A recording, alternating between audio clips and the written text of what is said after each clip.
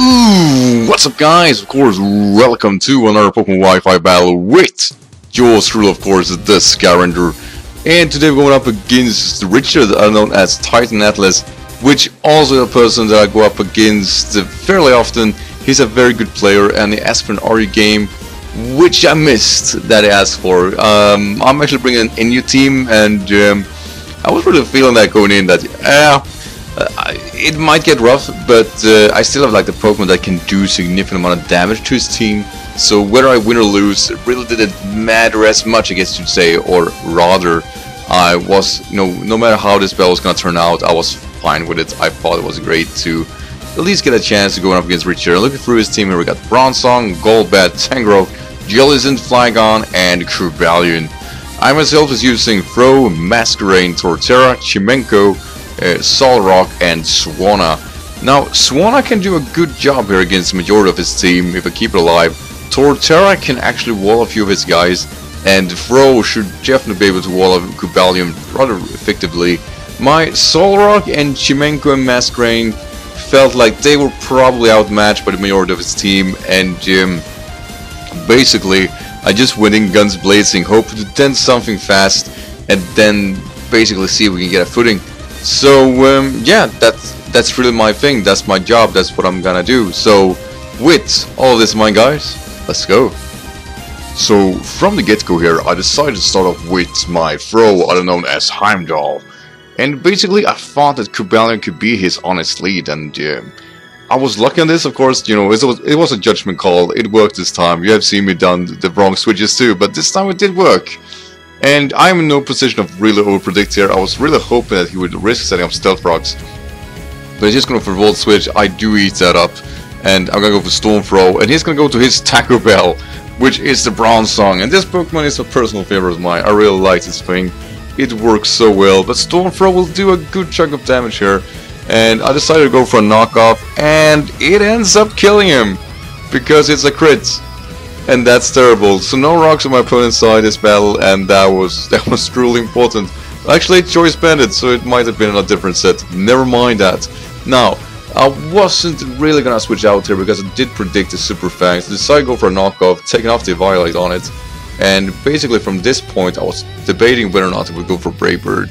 But uh, ending up doing that call and switch out to Metallica. And uh, he just go for Super Fang and uh, yeah, that's obviously bad. But at the same time, I can threaten him out with a potential Stone Edge. And he was really feeling that, going to Athos. And, um, yeah. I think they did the same. Oh, actually, I did predict him switching out, went for an Earthquake. Haha! How about that? But yeah, Earthquake obviously is not doing a whole lot. I'm not risking Metallica since it can explode. Uh, so basically I'm gonna go to Heimdall and hoping that I can soak in Ironhead. And uh, I cannot. Uh, while I do take it relatively well from the position I am in, it's not it's not good enough. And Heimdall's gonna fall there, which is of course really bad, but I can go to Grimlock, which is my Torterra, Rock Polish Torterra. And uh, I'm just gonna break them switch out, going for um, well, a Rock Polish, I can outspeed everything on his team, and basically starting poking and denting holes here. So his Gengoku is flying on. I was not too scared of that. I was thinking that probably the best he could go for a U-turn. It will not do a whole lot. I'm gonna go for a Wood Hammer. But not only do I fail to kill him, he has the Fire Blast, but he misses. And I can just finish it off with another Wood Hammer. And Grimlock showing his brawn really here. I really like uh, Rock Polish uh, Torterra. What a champ, what a strong poke really. So he's gonna go to Love Bite, which of course is the Golbat here, and I just decided to go for Stone Edge. No way of really predicting or overshot, and he's going for Toxic. Pretty much will me down by default because there is not a whole lot I can do. Um, obviously I can't stand too much and the residual damage is going to kill me. And uh, he has the possibility here of going for Roost if I miss a Stone Edge, which I luckily don't do that would actually have been the worst. This is pro probably one of the few uh, moments where I actually wish I was slower, so I could go for an EQ instead and take it out. But hey, this did work this time at least. And now it's gonna go to his creepy pasta, and this thing walls me. Like Stone Edge is the only real move I got for it, and even by that standard, I can't risk that. And I have to switch out. I'm gonna go to Metallica, hoping that I can't survive a special move, but it goes for knockoff, and uh, yeah, that's that. That's really bad. I really just wanted to explode on his face there, but no, we did not pull that off. Now I go to Crystal. Crystal is um, Intimidate, Masquerain, Infestation, Roost, and uh, Quiver Baton Pass. So I was thinking I can probably set up on it, and um, not a good fun, not the best of thoughts really, because it does pack the Rock Slide. While I do, I am able to survive one of these with a crit, he I will not. Uh, sadly, because my idea was to go for Quiver Dance, then Baton Pass that to Michimenko, which is stored power set, but no, that did not work. So I'm gonna go into my Swanna now, which is Life Orb, and with that damage, I kind of realized that this thing probably, and I'll say probably, is Assault Vested, because he can deal with this damage, and he's not supposed to do that. Now, he does break free here from the potential flinches, go for Rock Slide, which will do of course a good chunk of damage on me because why not? And um, I was pretty much debating that he probably would switch out because regenerator is a thing. So I went for a roost here instead. And uh, yeah. That's a good thing. Though Cobalion has the volt switch I've seen it. And um, I was thinking here that I could switch out to my potential Caracast or Torterra or volt switch. I think that he's probably not that strong. And it probably isn't either but that still did too much. And I went for a skull there, and that was bad. That was a bad decision, because he still has this thing, which I totally forgot, and the Lifer will take me out here, so I should definitely gone for Roost instead. I felt terrible after this, because Swanna was actually a go-to Pokemon against Tangrowth, which now is my number one threat. But I still have, you know, the Torterras, you know, I'm still at good positions, so Grimlock, which is speed EVs is actually able to outspeed this thing, which I think my opponent did not see coming. And that is one big ass manatee out of the way. Get out of here. So yeah, the residual damage there of course is too much. And with the toxic, I'm just falling, falling, falling. And he's going to take focus. There is no way in hell that I will switch out. I only got my Grimlock and um, the um, uh, Chimenko left. So I decided to sack this guy off, and now he's locked to X-Scissor, which is bad. I was hoping it didn't pack that move, to be honest.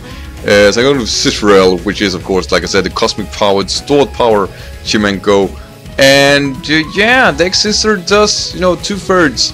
But with the Thunder Wave, I was thinking that, you know, I have a chance here of um, recovering till he's fully paralyzed and then setting up uh, oh, what do you call it, the moves that is um, Cosmic Power and I'll say like this, it's not a bad idea, so I'm gonna speed things up here because even if it is, uh, you know, the worst of ideas, it still is that that he still does more damage than I can recover, and that means that we have to keep going until he fails. And once he fails and becomes fully paralyzed, we can start setting up.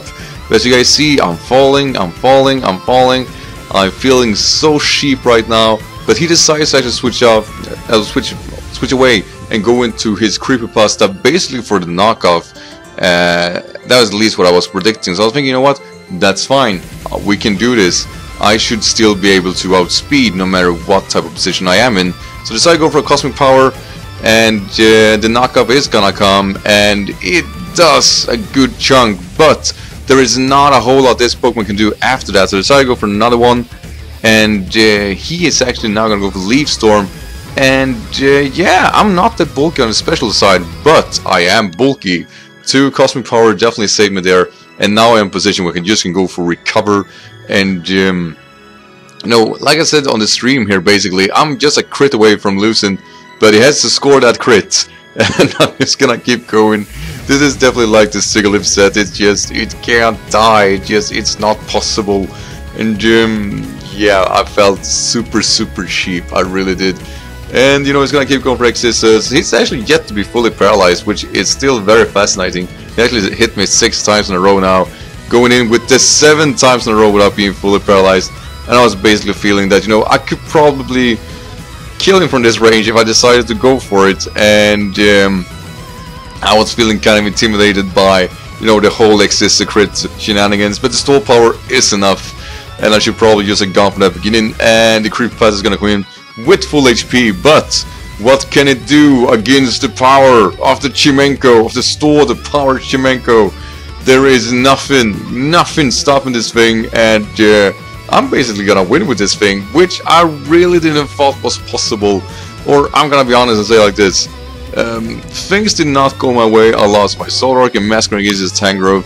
Uh, I failed to sweep with my um, uh, with my Grimlock, and I failed to use Swanna correctly. So Chimenka coming through out of nowhere was, well, how about that? What do you know? so we, yeah, like I said there before, um, both Cobalion and Tangrowth, definitely that core was so hard against me. There was no way for me really coming back. Chimenko pulling that off, not gonna lie, it really took me by surprise too. I would have much better preferred the Masquerain setting of Quiver Dance than pass it to Chimenko uh, you know, to get the speed boost and all, and not relying so heavily on a Thunder Wave.